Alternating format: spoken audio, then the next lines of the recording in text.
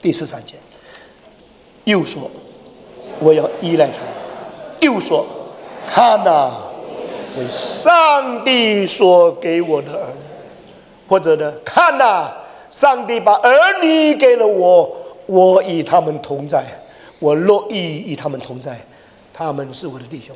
最后，请你注意下面几句话：上帝把我们给基督。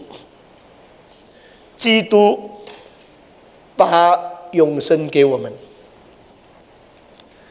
基督用宝血把我们买赎回来，基督又把我们献给上帝，上帝成为我们的为儿女，而基督成为我们为弟兄，明白了？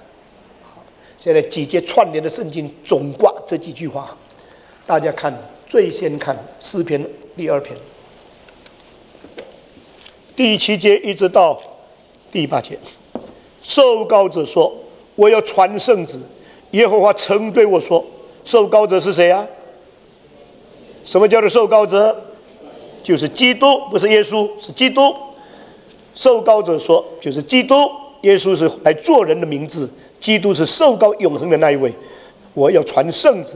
耶和华曾对我说：“你是我的儿子，我今日生你。”第八节，你求我，我就将列国赐你为基业，将地基赐你为田产。所以父要把地基赐给耶稣。这个地基同列国是什么呢？就是万国、万民、万族、万方的人都要父把他赐给耶稣基督做产业，做耶稣基督的弟兄。万国万方万国万族的人，父把他们赐给耶稣基督。这些人是谁呀？是谁呀？这些人是谁呀？父把这些人赐给耶稣。这些人是谁呀？就是教会，就是我们。因为圣而公的教会是从万方万国万民。那么耶稣白白得到这个吗？请你注意下面这个话：上帝把这个给耶稣，耶稣白白得到吗？不。耶稣虽然已经，上帝把这些赐给他，耶稣是用把宝血去把他们买回来的。看启示录第五章，启示录第五章第八节，请姐妹们，一二三。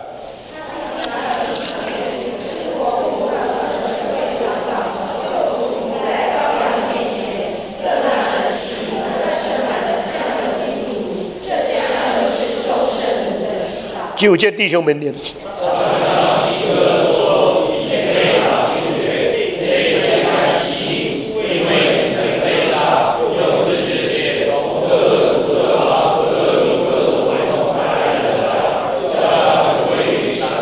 这些人是不是父赐给基督的？